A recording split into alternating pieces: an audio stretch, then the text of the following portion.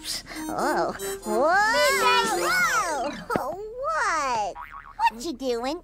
Oh, well, I was getting ready to take our stuff outside. I thought it'd be really cool to sleep out under the stars, just like cowboys do. Oh, Barney, can we sleep outside, can we?